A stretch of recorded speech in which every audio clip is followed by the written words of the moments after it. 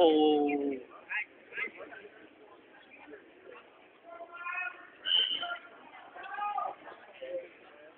All YouTube viewers, this is the sickest match ever.